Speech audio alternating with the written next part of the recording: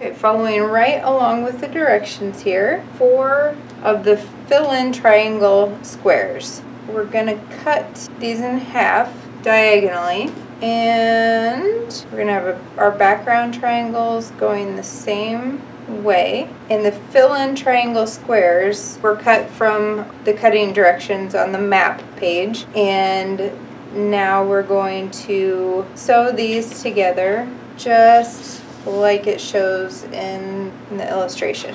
The important thing here to remember is that you're going to align the tops and this part is going to stick out a quarter of an inch and I'm going to pin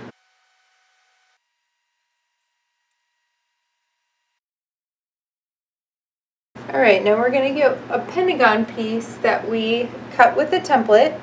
I'm going to position it just like the illustration shows. And now I am going to flip this over so that a half square triangle aligned in the corner and that the single triangle on its own is going to overlap the pentagon piece underneath by a quarter of an inch.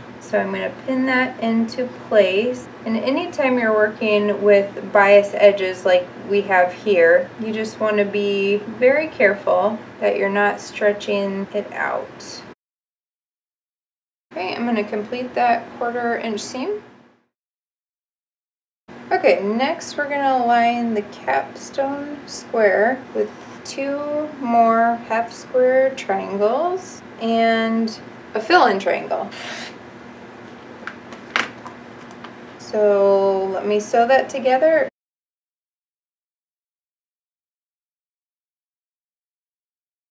Okay, next instruction is to get one of our star points and we're gonna align it just like the diagram shows. Pinning one corner and then the next. I'm gonna go ahead trim this away so that we can get a good fit on that end. And again, this is another bias edge underneath, so we're going to be careful about how we can stretch that.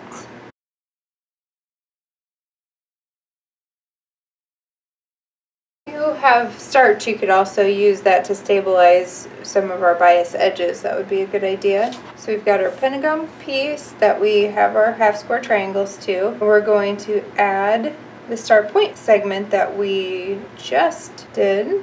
And now we're going to pin these together, making sure that we match the points when we see them, match the ends, making sure that there's a quarter of an inch that sticks out beyond the pentagon piece underneath.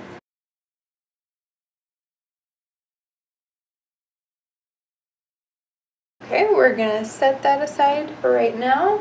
And we're going to grab another star point from the template that we cut. And we're going to grab our triangle accent fabric. And this one we're going to cut in half diagonally each way to get a quarter square triangle. Without lifting up the fabric, I'm just repositioning my ruler to cut across diagonally in the other direction. Then I'm going to take one of these triangles, a very biasy triangle, and I'm going to align it with my star point, flipping it right sides together. I'm going to pin it and sew it very carefully with a quarter of the triangle sticking out on the end. Now we're going to combine these two segments that we've been working on.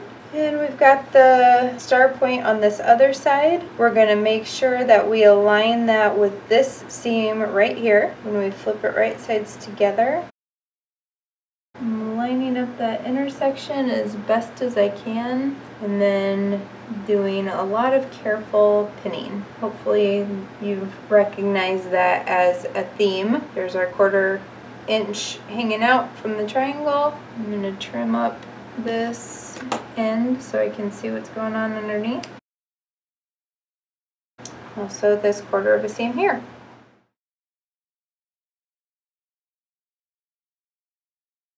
Okay, this is the completed side unit. Once we complete one, we'll go back and do it three more times so we have a total of four. We're getting closer. Okay, now through the magic of television, I have finished all four of the side units and we're gonna set these aside to be used for the final block construction.